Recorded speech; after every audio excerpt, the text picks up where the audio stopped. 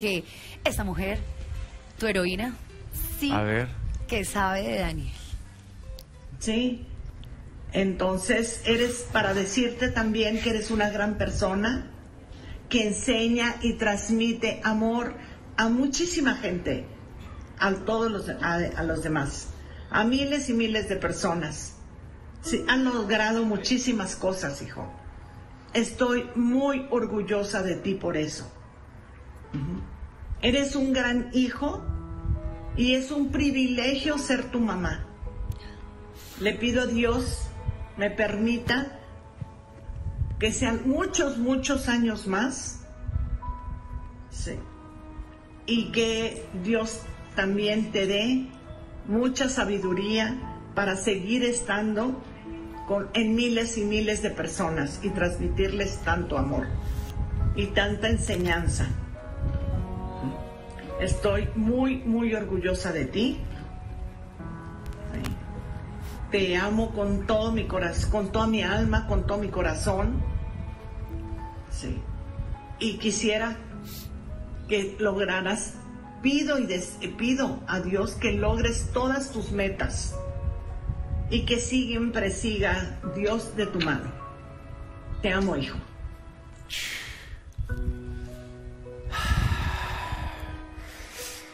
Bueno.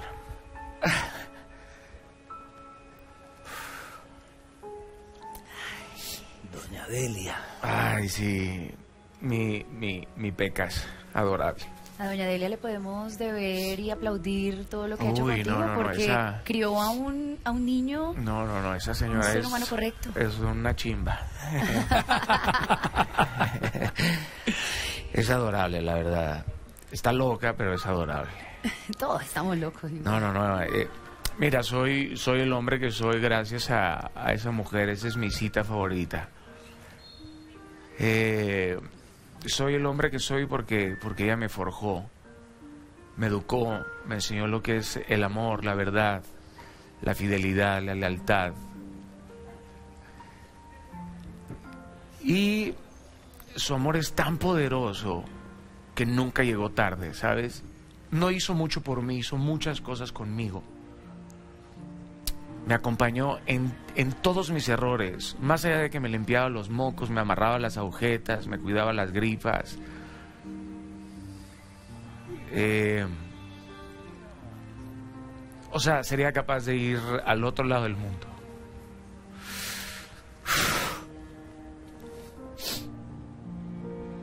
Ese, ese acompañamiento incondicional de la mamá, que, que tú dices te cuidaba la gripa, te amarraba los cordones, iba acompañado también de, de- de unas frases que, que marcan tu vida, una que me llama la atención. Es que miren eso, o sea, Mira, No. si así está el cielo, imagínense a mi creador, imagínense eso. Dios mío. Ese es Mazatlán, Sinaloa, ese es mi puerto, ese es mi puerto, pero cargándola.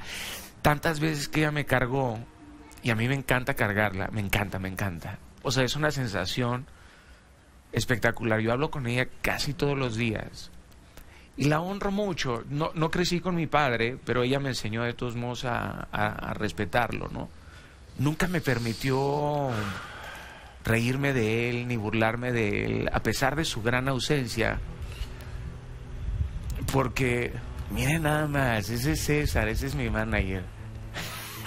wow, bro. Bueno, ustedes sí son arrechos, ¿eh? Mi hermano, Wow. ese es mi hermano, ese es mi hermano, eh, Marino. Mi padre también era Marino. Miren qué guapo. Ese es mi padre, el que está ahí al lado. Ingeniero. Las manos callosas, siempre tiene unas, unas manos callosas. Un hombre muy inteligente, sofisticado en muchos sentidos, pero al mismo tiempo eh, muy salvaje. Tú dices que don Alejandro, tu padre, Sí. te educó en su ausencia.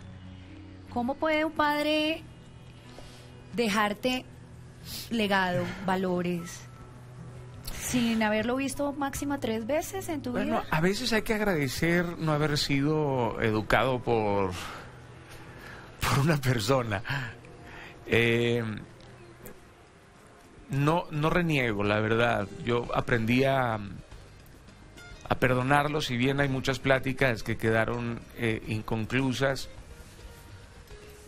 Eh, hay que agradecer lo bueno y lo malo. Cuando uno entiende que lo malo, en lo malo hay mucha información, que la ausencia de alguien puede llevarte a un estado de víctima o puede también forjarte. Al final tengo conmiseración porque él tenía también sus miedos. No busco justificarlo ni condenarlo, ¿sabes? Ya habrá el momento para preguntarle por qué, si es que Dios no lo permite en lo eterno. Pero la ausencia de alguien te educa o se convierte en una herida o te, o te salen flores. O te salen flores mm. de esas heridas. Porque uno aprende a reverdecer aunque no sea primavera. o sea, uno tiene que aprender de alguna u otra manera a dejar, a dejar ir eso. Y, dejar de buscar explicaciones.